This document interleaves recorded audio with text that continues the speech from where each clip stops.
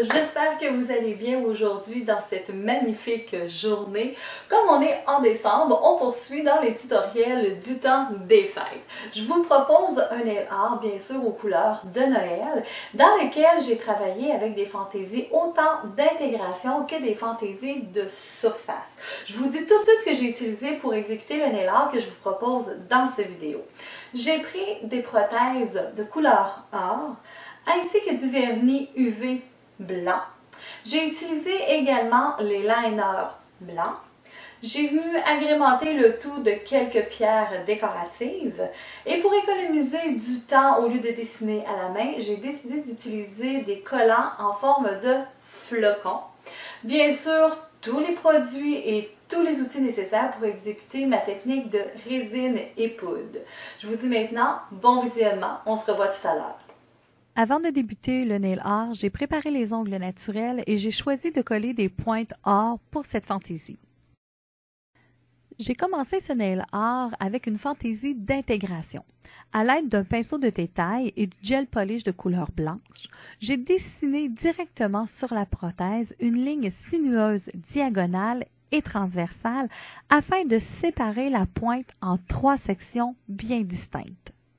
Lorsque j'ai terminé de dessiner ma ligne et qu'elle est à mon goût, je fais durcir le produit 30 secondes sous une lampe d'aile. Prenez note que j'utilise uniquement ce pinceau pour travailler avec le gel polish. Peu importe le pinceau que vous avez, qu'il est de qualité ou non, il conviendra sans problème pour ce travail. Une fois que le gel polish est durci, je retire délicatement la pellicule collante présente sur le produit avec un tampon sec non pelucheux. Je peux maintenant poursuivre le travail avec les étapes de la technique de résine et poudre selon mes habitudes. J'ai fini les étapes de la technique, alors je peux poursuivre mon travail avec la fantaisie de surface. J'ai décidé d'utiliser pour ce nail art un papier feuille de couleur rouge et j'ai étendu la colle de transfert sur la zone désirée que j'ai laissée sécher jusqu'à ce qu'elle soit devenue complètement transparente. Ensuite, j'ai apposé la feuille de feuille sur la colle, j'ai gratté délicatement et j'ai retiré d'un coup sec la feuille et seulement la couleur du feuille est restée sur la zone choisie.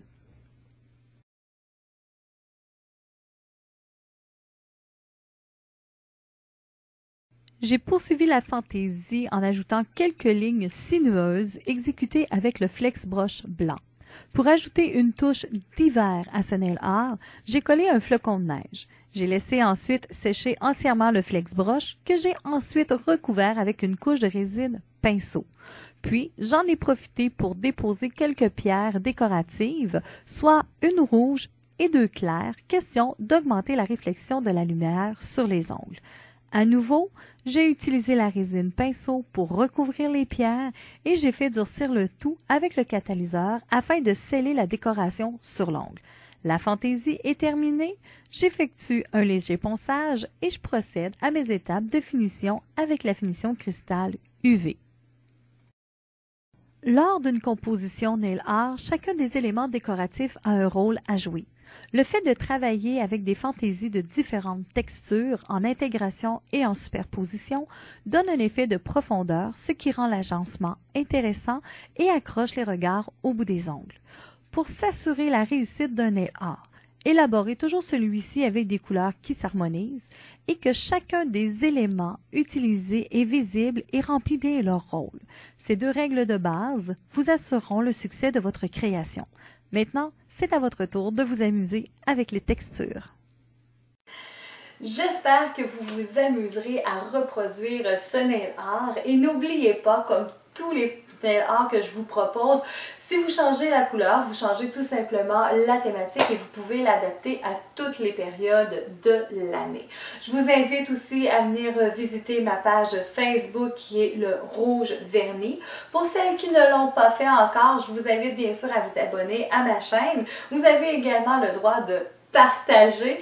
Si vous avez des suggestions à me faire pour des fantaisies ou des produits que vous aimeriez que je travaille pour voir comment ils se travaillent, ça va me faire plaisir euh, de les intégrer à l'intérieur de mes tutoriels tous les produits et tous les outils que j'ai utilisés sont maintenant inscrits dans la description de cette vidéo. Vous retrouverez également les coordonnées pour les cours de Fantasy Nail Art. Sur ce, je vous souhaite une excellente fin de journée et je vous dis à la semaine prochaine. Au revoir!